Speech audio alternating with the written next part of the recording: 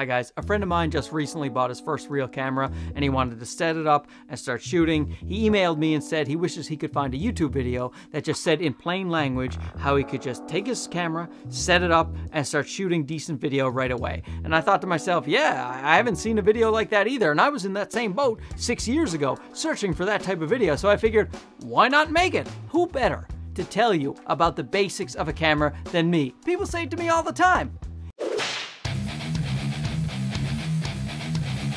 So just to be clear, this is a total beginner's video. If you have experience with cameras, this video may not be for you, but you may know some people who would benefit from this video, so go ahead and share it to them. Now, I can't tell you what buttons that you need to press because uh, cameras are like snowflakes. They're each beautiful and, and, and unique and, and wet. Actually, try not to get them wet. So what I will do is I will give you some settings that will be good to dial into your camera so that you can get some acceptable images even though you don't have any experience. It will be very good to have your manual close by and if you don't have your physical manual then uh, you can always find your manual online pretty easy to almost every camera and that will help you navigate to the settings that I'm talking about. So I'm going to break this up into four categories. I'll go with camera, lights, sound, and stability. And at the end, I will give you some bonus tips on using your camera to get optimal results. So number one, the camera settings. You want to turn the dial on the camera to the movie mode. Sometimes it says movie, sometimes it's a picture of a film strip. Just get to that movie mode. And what you want to do is set up your camera in 1920 by 1080. This will be your camera's resolution. Now some of your cameras will be able to shoot 4K and you may be tempted to do so and you can go ahead if you want but you must remember those file sizes will be much much bigger than the 1080 file sizes and it'll be much more difficult to edit on your computer. So if you have a very robust computer and you have a lot of storage space you can go ahead and try the 4K but for the most part people will actually watch their YouTube on uh, on their phones or their tablets where they won't notice the difference probably between 1080 and 4K. We can move on to 4K as time goes by, but we're beginners here. So let's start at 1080 and make it a little easier on yourself. Now that we're in 1080, what you want to do is set the frame rate. This is the frames per second you will be shooting at. It is usually written simply by a number followed by a P. Inside North America, you want to look for 24p uh, outside of North America, 25p. This is the frame rate for 99% of all movies that you see and TV shows. This gives you the most realistic motion blur. Now, if your camera doesn't have that, choose 30p. This will give you more of a soap opera look to your footage, but it's still fine. People use it all the time. Now, when you see frame rates like uh, 60 frames per second or 120, generally those ones are chosen so that you can slow the footage down in editing so that you can get some slow motion. So now we're shooting in 1920 by 1080 with 24 frames per second. The next thing we want to look at is shutter speed. Shutter speed is most likely one of the dials on your camera that you can use, you know, with your thumb or your forefinger. A lot of times it's the one on the back there. And uh, what you want to do is set that to double your frame rate. It's called a 180 degree shutter rule, but who cares what it's called? But what I'm saying is since we're doing 24 frames per second, 24p, what we want to do is set a, uh, set a shutter speed that is double that. So a shutter speed of 48. Now, on cameras, the closest generally you can get is 50. And it's really 1 over 50 because it, it's written as a fraction, as in the shutter stays open 1 50th of a second or 20 milliseconds. You know, some cameras will actually express the shutter speed in, in, in that fraction, but a lot will just say 50 instead of saying the 150. But listen, all you have to remember is you want to double your frame rate. So if you're doing the 24p, look for the 1 over 50 or the 50. If you do 30p, then you want to uh, look for the 60 or the 1 over 60. Now, if you want to do slow motion, at 120 frames per second, set your shutter speed there at, uh, 240. Now there is some debate about whether in fact you should double your frame rate when you reach the higher frame rates, but we're beginners here, all right? So let's just keep it simple and remember to uh, have your shutter speed at double your frame rate. Uh, that's all you need to remember. So now our camera resolution is 1920 by 1080. Our frame rate is 24 frames per second or 24p. Our shutter speed is 50 or 1 over 50. Now what's next? What's next is the aperture.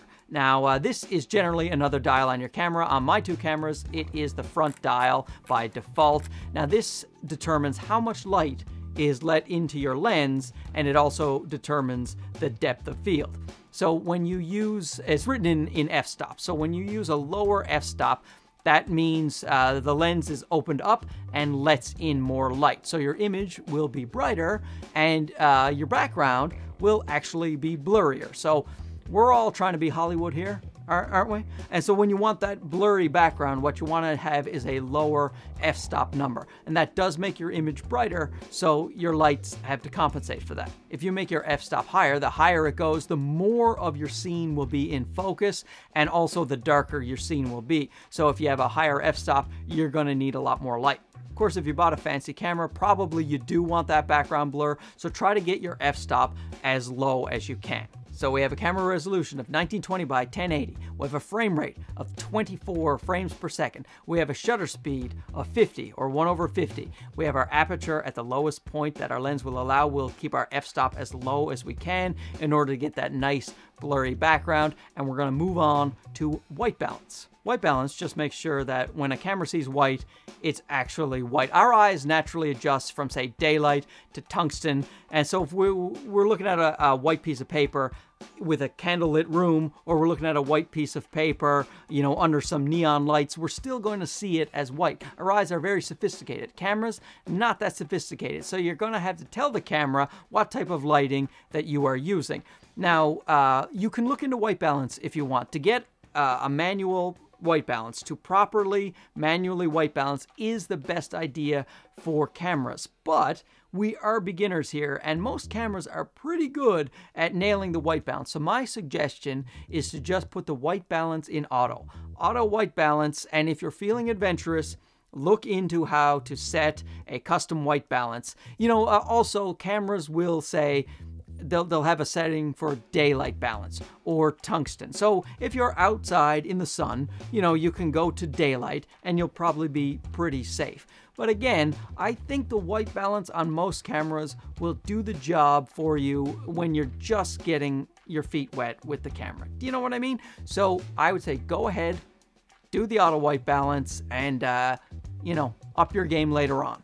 And now let's move on to ISO. ISO is a way of boosting the brightness in your camera if you need some more light. And now again, we're gonna let the camera do the work for us on this one because ideally you want your ISO as low as possible. That will give you the cleanest image, as people say. So when they say clean image, if your ISO gets too high, generally cameras will introduce a lot of noise. So it'll just look like a lot of static and uh, discoloration and your footage will look really terrible when your ISO is too high. So you want to keep your ISO as low as possible, which is why you want to light your scene well. Like right now, my scene is lit well. If I didn't have these lights here, I'd have to turn my ISO way up and then my footage would look all grainy and crappy. So again, in a perfect world, you want to set your ISO as low as you can and have your scene lit properly, but we're beginners, so maybe our scene isn't lit so properly and our camera will need to compensate by giving us an extra boost of light. So uh, put your ISO in auto. And now we come to the focusing method. Now this can be a tricky one because some cameras are really good at autofocusing, like the, the recent Sony cameras, and some cameras are terrible at autofocusing, like some of my beloved Panasonic cameras. The Panasonic G7, GH5, they're not very good at uh, autofocusing, so you'll want to set that into manual focus. So my suggestion for you is use autofocus to start you know, do some tests, and if your camera cannot autofocus, then of course you switch to manual focus. But the truth is, a lot of cameras, the Canons, the Sonys, uh, the Fujis, uh, and even some of the Panasonics in 1080 will give you acceptable autofocus. So make your life easy. Manual focusing is a bit of an art. It's a little bit tricky. Once you learn how to do it, you're going to fall in love with it, trust me. But right away, if you just want to set your camera up and start shooting some video, just try the autofocus and hope that it works out for you. You will know if it doesn't work. You'll watch your footage back and it'll just be in and out, blurry, sharp, blurry, sharp. It, it won't look good, and that's the time you want to uh, go with the manual focus. And the last thing I'll mention about the camera settings is the metering. Uh, just look for the setting that says multi-metering. That basically says the camera should look at uh, the entire scene in terms of lighting. You know, sometimes you can do spot metering if like your beautiful face like mine is the only thing that you want to focus on. Like I could do spot metering right now on my face and that would work. But if you're shooting a regular scene, you know, just just go with multi-metering. It's the best overall metering to pick when you're first getting going. So I'll give you some more camera tips at the end of this video. But let's recap our camera settings right now before we move on to lighting. We're shooting at 1920 by 1080 for the resolution. The frame rate is 24p. The shutter speed is 50 or 1 over 50. We're using the lowest aperture, the lowest f-stop that our lens will allow to get a blurry background. Our white balance is auto. Our uh, ISO is auto. And we're using autofocus if it works. Hopefully it does. And for metering, don't forget to use multi-metering. And now let's move on to another key ingredient of good footage, and that is lighting. Now, one of the easiest ways to make your footage look good is to just go outside. Uh, this the sunlight is very good, and the background will look good as long as you know you don't have something horrible in the background. But the big problem is that the sun will often be too bright for the preferred settings that I have just talked about. So uh, let's go outside right now.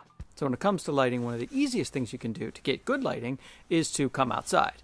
But in a Canadian winter, maybe that isn't the easiest thing to do, but the point still stands. Problem with shooting in daylight, often the sun is too bright for you to use your preferred settings. So if you want that nice blurry background and you want to put your f-stop all the way down to its lowest setting, then you're going to really blow out the image. Here, let me show you.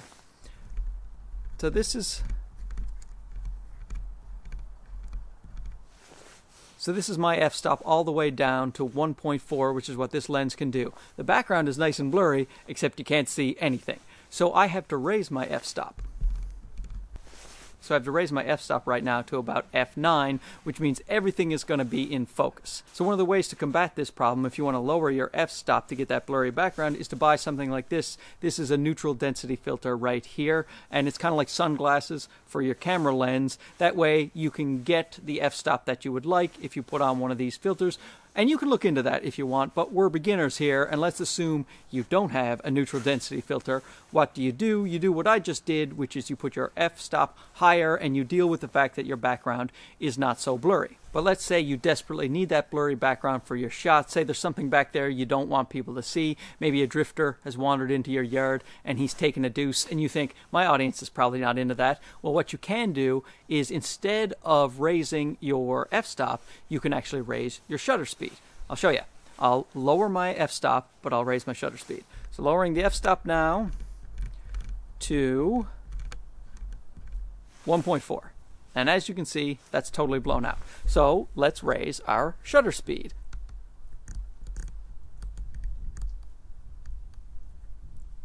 And right about there. The problem with this is it doesn't create realistic motion blur, so when things are moving through your screen, it looks very Saving Private Ryan, very choppy, cha cha cha cha, kind of like an action scene.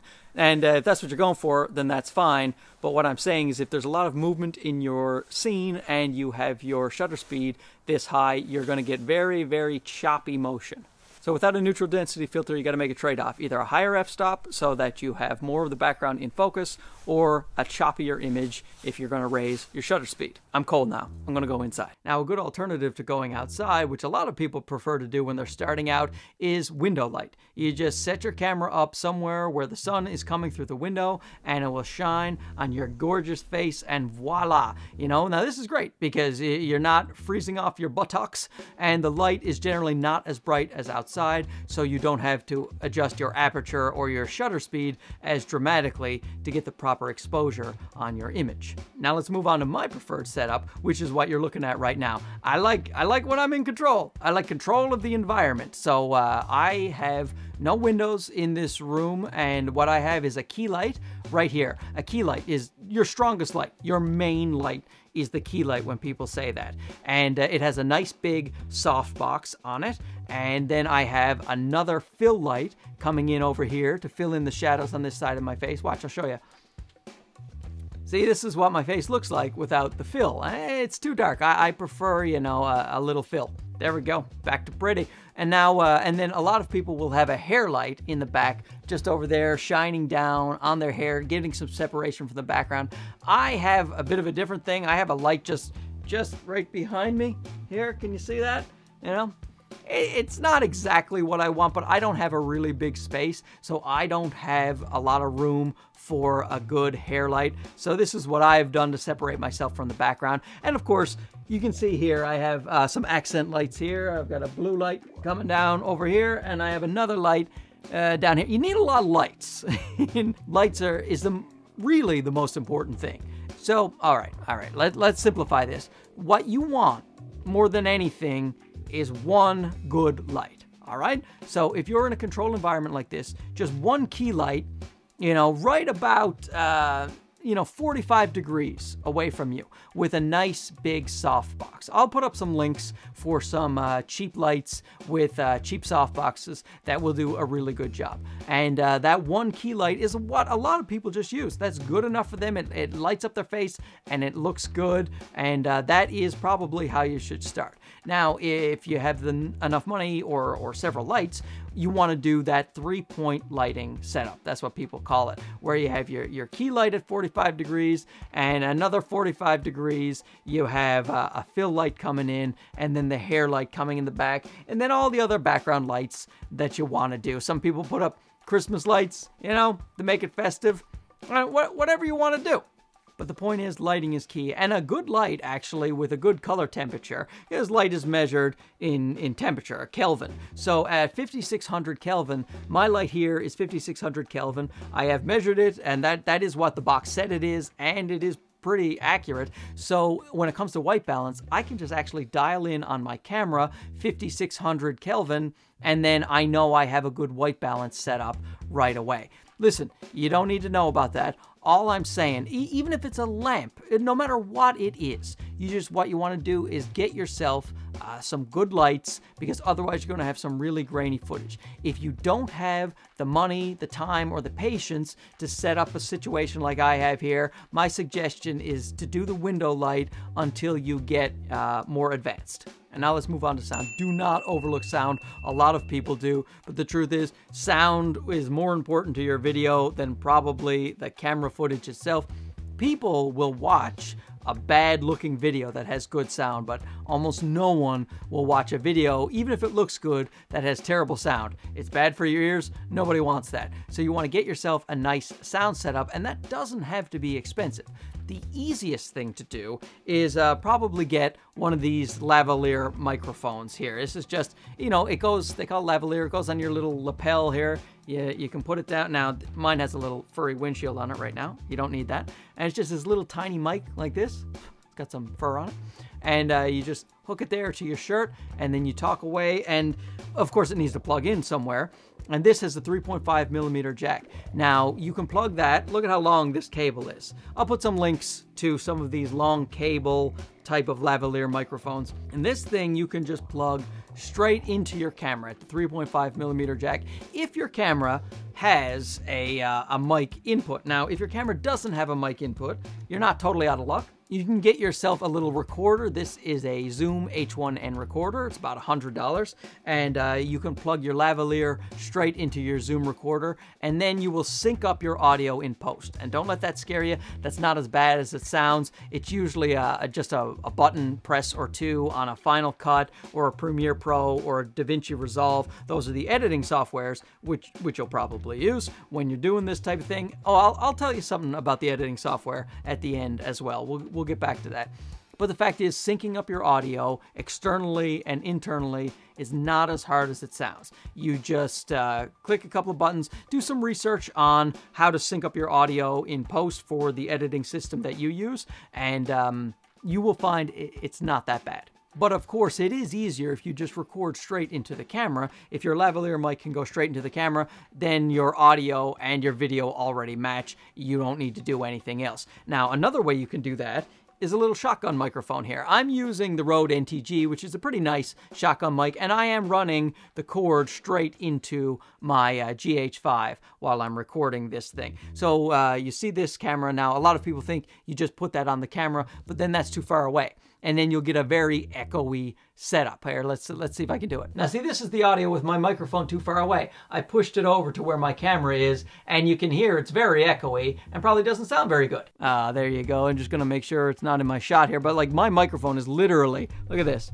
is is right here. You see what I'm saying? And this here is a little cheap microphone. It's a bit like the Rode Video Micro. It actually, it sounds pretty good. What you want to do is uh, get your shotgun mic as close to your yapper as you can. And now how you do that is you buy a 3.5 millimeter extender cord. So the cord extends from your camera all the way to your microphone right here. I'll put links to all of this stuff up. And, you know, and, and it's not that much money. The cord, I don't know, it's like $10. This particular microphone, which is pretty good, is like 30 or $40. Yeah, my NTG is a few hundred dollars, so you don't have to go that crazy. You can get a, a, microphone, a boom microphone for less than $100 that will give you some really good sound. And again, I'll, I'll just put some stuff that you can look at. And again, if your camera doesn't have a microphone input, you can always go in to a little external recorder and then sync it up in post later on. But hopefully your camera does have a mic input because that makes things a lot better. And the last thing we'll talk about is stability. You will find most cameras handheld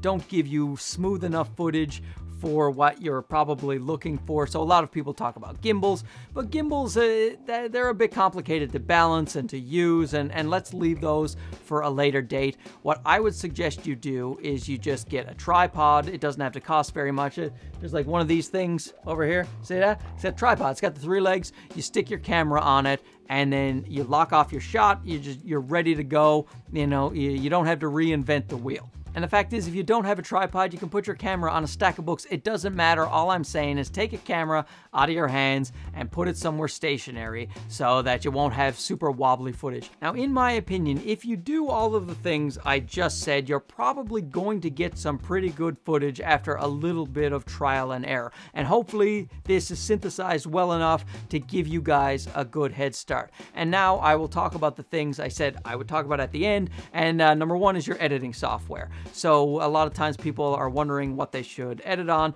Sometimes your computer will come with some free editing software like, uh, you know, uh, the Macs come with iMovie. But in, in fact, my suggestion would be uh, if you don't have any editing software and you haven't purchased any, probably go with DaVinci Resolve. It's a complicated program and there's a bit of a learning curve, but it's free.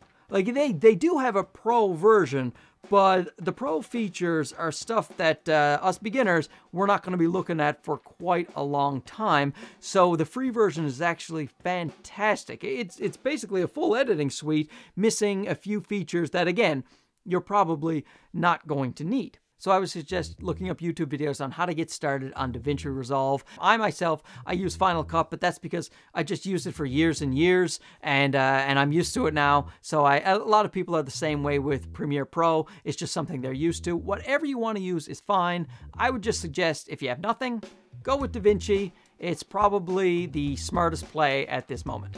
And now here's a couple of tips about using the camera that might help you out in the future. I would suggest that you buy a very cheap, it's about $10, a gray card. It's one of these things right here. And if you're trying to set your custom white balance, which we talked about, in an ideal world, you want to set a custom white balance. So if you go to your custom white balance setting on your camera, you press that, then a, the, a little screen will generally come up with a circle or a square on it saying, fill that square with something. You put this gray card up, you press it, and your white balance is set.